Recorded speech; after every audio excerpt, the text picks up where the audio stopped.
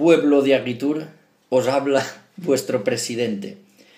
He decidido hacer un vídeo porque así seguro que más o menos lo veis todos, porque aunque me pegue un parrafón tremendo con todas las conclusiones, es agua que se la lleva Microsoft Office, entonces de ahí que haya preparado mi intervención estelar para hablaros de lo que supuso eh, tanto la FEC, la reunión, como New Generation. New Generation. Como sabéis, la FEC es la Federación Europea de Guías. Nosotros estamos a través de CEFAPIT en España y eh, a cada año pues, hay una eh, convención internacional a nivel europea y otra mundial cada dos años.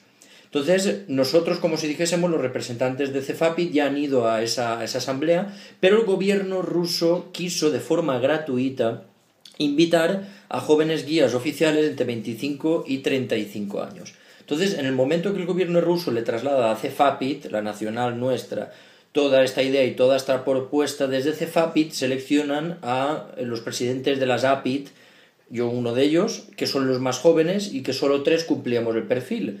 Un compañero ya dijo que no podía ir, entonces eh, Daniel Aguilera, APIT Granada, y Jorge Linares, guías Aguitur, fuimos los seleccionados para ir a este encuentro de la FEC a nivel internacional en Moscú, bautizado como New Generation.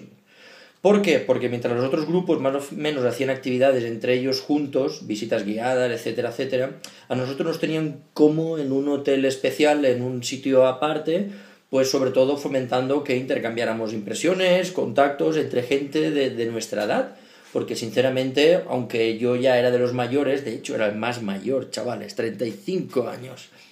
Eh, claro, yo que tengo que ver con gente de 60 años, gente que, que tiene una larga trayectoria, para bien o para mal, porque hay nuevas formas de hacer las visitas guiadas, etcétera, etcétera. Entonces estuvo muy bien, hay que decir que no me ha costado absolutamente ni un duro todo el viaje, eh, desde que salí de mi casa de Alcoy hasta que volví después de cinco días eh, intrépidos de viaje. Y esto lo propuso todo el gobierno ruso. Siguiente apartado, preparativos del viaje. Como vosotros sabéis, en Moscú, tela marinera para ver llegar hasta allí. Porque España, tú eres de Ecuador y no pasa nada, pero de España tienes que preparar un visado. Y nuestro visado era un visado especial por razones humanitarias, es decir, aquí un humano, ¿eh? Que los compañeros que fueron de Cefapit simplemente fueron por razones turísticas y, ya, y tenían un mes antes del visado. Yo el mismo día de salir en el vuelo a las 2 menos 5 en Madrid, tuve que ir al COI Madrid, recogí el visado y a las 12 de la noche, ese día, es cuando, cuando salí. Sin el vuelo, porque la condición era que hasta que no les enviara yo el visado, la fotografía por WhatsApp, no me compraban el vuelo. Con que fuma de la pipa. Quiere decir que si te, os quejáis de los alcoyanos, que tenemos un carácter así, ir a tocarle a la puerta a, a los rusos, ¿vale? Después, el viaje. Claro, una vez allí, pues mm, eh, los embotellamientos en Moscú tardas 90 minutos en, eh, en ir a cada sitio del aeropuerto al hotel tardé dos horas en un transfer. Yo lo vi y digo, esto es la distancia más o menos como del aeropuerto de la Alteta hasta Santa Pola, más o menos, que en media horita estoy en mi habitáculo. Pues yo llegué a las cinco y pico de la mañana a Moscú y tardé así como dos horas y pico, 7.45 estaba entrando yo en el, en el hotel y ya me estaban avisando mi compañero de Granada, Jordi Baja, que te están llamando, que están, que están pasando lista. Entonces, claro, de nacionalidades eh, había muchísimas nacionalidades presentes, desde Irán, Bulgaria, Georgia, Rusia, Francia, eh, Grecia, muchísimas de, todo el mundo, con eh, muchas ausencias, porque por ejemplo estaban invitados Estados Unidos y no vinieron, Irlanda, Inglaterra, Italia, pero los italianos son más pesados que los españoles, entonces yo qué sé, igual no, lo pasamos bien sin ellos, yo qué sé. Hubiese estado mejor que vinieran, porque así nos juntábamos españoles, italianos y serbios que son súper macarras y hubiésemos hecho más escándalo, pero pues, pues no pudo ser. Entonces las actividades que íbamos haciendo, pues sobre todo quien tenía un poco de interés o de ganas, pues iba preguntando qué se hacía en otras ciudades, cómo se funcionaba en otras comunidades. Y ahora es cuando viene el momento importante de la jornada. Pink. Conclusiones. Conclusions. Nadie, nadie, ni ninguna federación de guías tiene abogados contratados para pelearse con las administraciones públicas. La estrategia de todos, hasta incluso de los de Moscú, que hay 2.000 guías oficiales habilitados en Moscú, currando y todos tienen curro, ¿eh?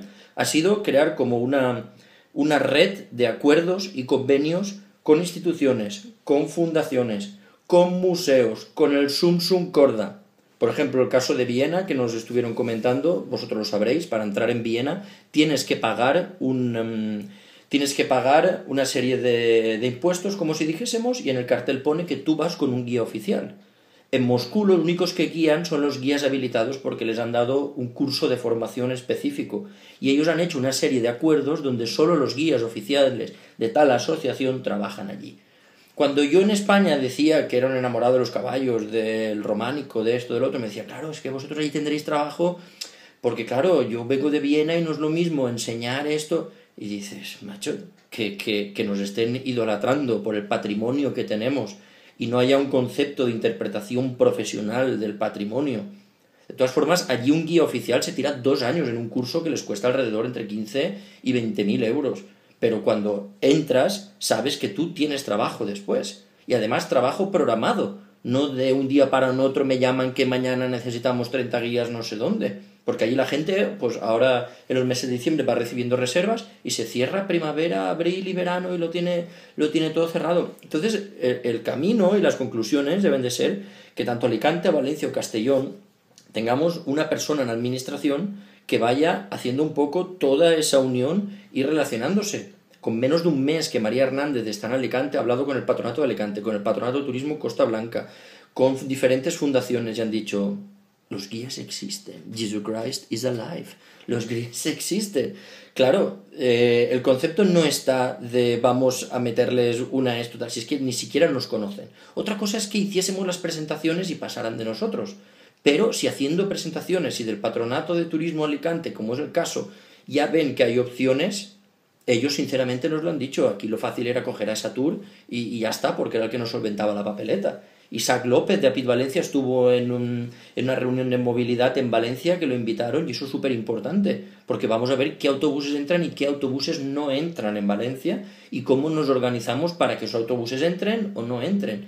Y eso es el kit de la cuestión. Es decir, que yo creo que el camino que debe de seguir nuestra asociación en este sentido es primero empezar a organizar una presentación a todas las instituciones de quienes somos, además una forma de dialogar, porque aquí hay dos opciones, o dialogar o la versión taxi, que si queréis nos ponemos a hacer manifestaciones, a quemar coches, etcétera, etcétera. Si la opción 1 no va, pues pasemos a la 2. Pero, mm, no sé, además la gente eh, va a ese tipo de congresos no a decir las penurias y lo mal que tal, sino de alguna forma pues a intentar mejorar con las cosas cómo le va uno, cómo le va al otro.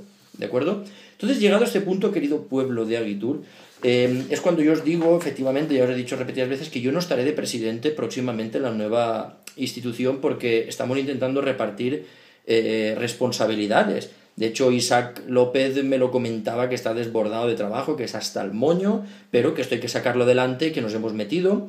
Va a entrar también una asociación fuerte de, Castellón, que estaban por allí. Entonces quiere decir que nos van a juntar 200 personas. Que eso cuando yo haga de Capitán Moro, esos 200 os quiero ver ahí, ¿vale? Eh, ¿Qué pasa? Pues que habrá que organizarlo y yo, si me permitís, en un cargo más o menos puedo estar ahí, puedo ir dictando todo eso. Comisión de marketing, comisión de como queráis llamarle, ¿vale? Pero el presidente tendrá su función, el secretario tendrá su función, contabilidad tendrá su función y yo puedo estar como asesor espiritual y marketing, ¿correcto?